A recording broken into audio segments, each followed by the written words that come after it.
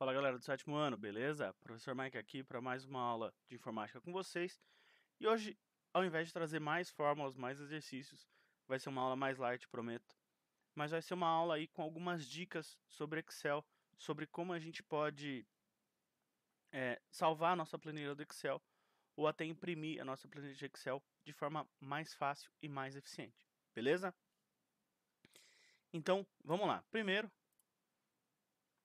temos a nossa planilha do Excel aqui. Essa planilha é a mesma que eu mandei para vocês na aula passada de exercícios, então temos duas listas de exercício aqui.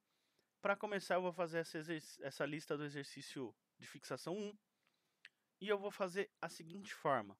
Eu vou colocar ela na folha de impressão, depois eu vou imprimir ela em PDF, ou seja, vou salvar ela em PDF para a gente poder entender como isso funciona, beleza? Simples, fácil, rápido, sem muita coisa, sem se prolongar muito.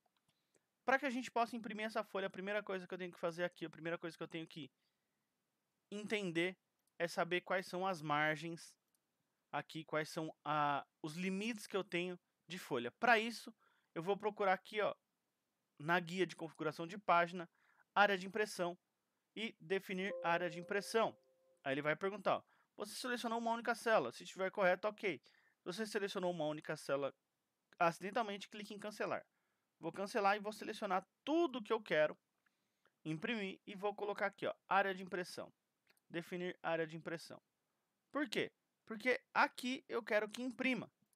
Então, se vocês verem, ó, ele criou uma linhazinha aqui de impressão. Se eu apertar o Ctrl P, que é o atalho de impressão, ele automaticamente já vai colocar minha tabela em uma folha, de acordo com o que eu separei, e se eu colocar aqui, ó, Microsoft Print to PDF e mandar imprimir, ele vai abrir a janelinha aqui para eu salvar esse documento já em PDF.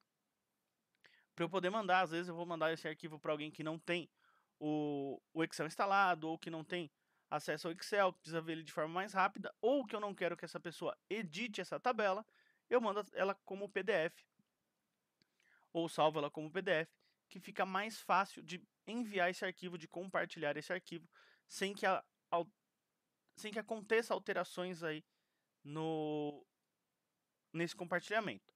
Essa é uma opção. Outra, eu vim aqui, ó, orientação, mudar a orientação para paisagem. Deixa eu definir aqui a área de impressão maior. Definir área, definir área de impressão. Então, ó, ele definiu a área de impressão, mas diferente da primeira vez que eu defini a minha área de impressão, aqui aconteceu algo bem bacana, que é entre as colunas M e N tem um tracejado.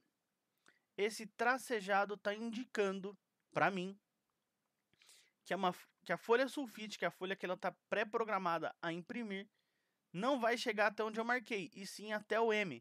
Feito isso, ó, eu posso selecionar do M para trás, área de impressão, definir área de impressão, some a linha. Se eu pegar do N e definir a área de impressão, ele vai jogar ali o, o, tracejado indicando que a minha área de impressão está maior do que o tamanho de uma folha sulfite, de uma folha 4. Mas se eu der Ctrl P, como eu não tenho nada de tabela para o lado de lá, ele vai conseguir colocar em uma página da retrato da mesma forma. E se eu colocar aqui print o PDF, eu já consigo salvar ele em PDF no meu computador ou no meu pendrive ou onde quer que eu queira salvar este arquivo. Certo? Então, primeiro item bem simples. Agora vamos para um mais complicado. Eu tenho uma tabela maior do que a minha área de impressão. Então, vou pegar aqui, ó, desde o O e vou jogar para a área de impressão. Ó, definir área de impressão.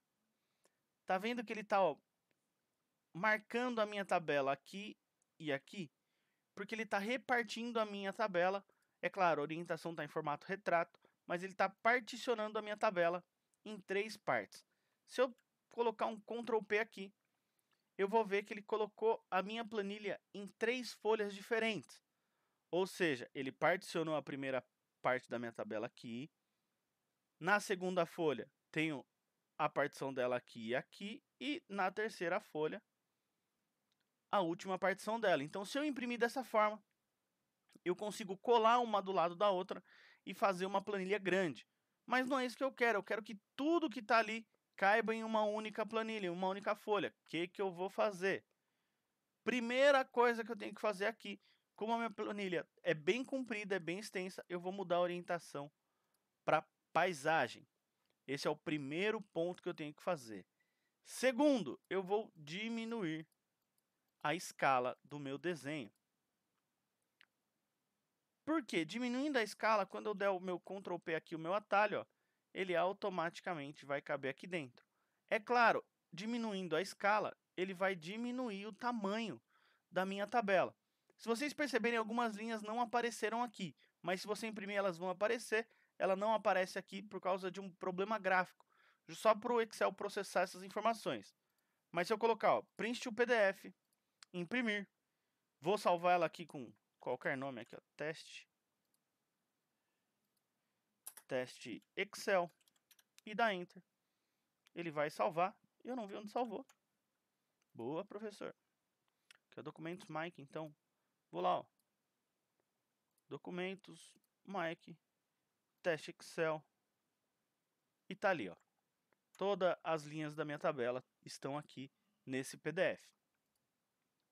Então, sempre que eu tiver uma planilha muito grande, sempre que eu quiser imprimir um documento muito grande no Excel e ele não está cabendo na folha, nem em retrato, nem em paisagem, eu vou diminuir a escala dela. Então, vou voltar a escala para o normal aqui. Ele volta para o 100%. E com a minha folha em orientação paisagem, ele está dividindo meu, a minha tabela aqui em duas partes. Se eu imprimir, se eu der um Ctrl P aqui, olha lá, eu vou ter duas folhas, uma, duas, em que eu devo colar depois que eu imprimir essas duas folhas para fazer uma única tabela. Ou eu posso diminuir a, a escala, como eu mostrei para vocês, para que ela possa caber em uma única folha.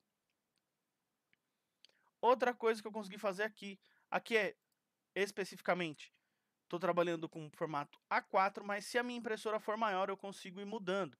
Por exemplo, se eu conseguir imprimir em A3, eu mudo o formato aqui, o tamanho da minha folha para 3, ela já mudou o formato, se eu der um Ctrl P aqui, ó, vocês vão ver que sem mudar a escala, ela já alterou o tamanho da minha folha de pagamento. Olha lá, ó, a linha veio para coluna K e L. Se eu mudar aqui para A4 de novo, ó, tamanho A4, a minha linha divide entre o H e o I. As minhas colunas H e I, ela fica dividida aqui no meio. E se eu colocar, eu acho que ele não vai ter a opção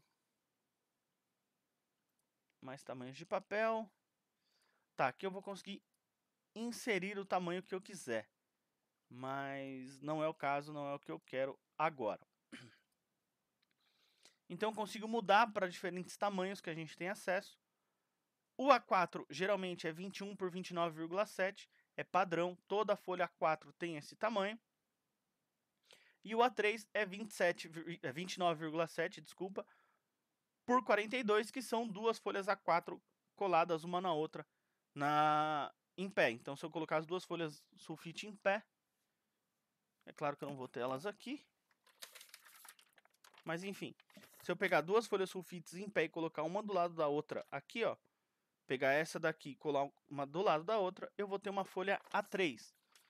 Se eu pegar duas A3 e colar uma do lado da outra, eu vou ter uma A2. Se eu pegar duas A2 e colocar uma do lado da outra, eu vou ter uma 1 e assim sucessivamente.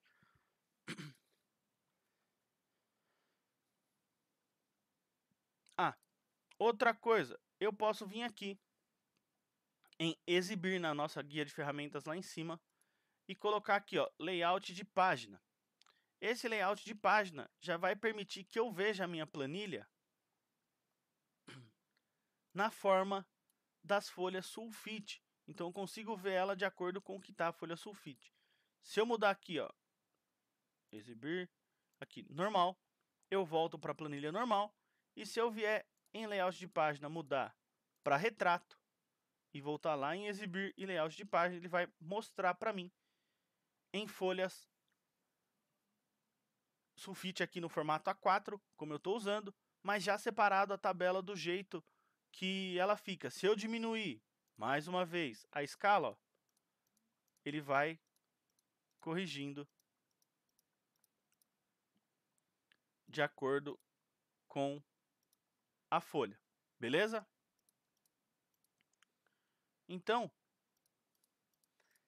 a aula de hoje são dicas bem mais simples, bem mais rápidas de Excel para imprimir sua planilha, para você poder fazer essa impressão aí de uma planilha. Às vezes você fez um, um controle de mesada, por exemplo, e você quer imprimir isso daí em casa, mas não conseguiu achar uma forma legal de imprimir, tá aí, a aula de hoje foi feita para você, beleza? Um abraço, eu vou ficando por aqui e até a próxima aula. Tchau, tchau.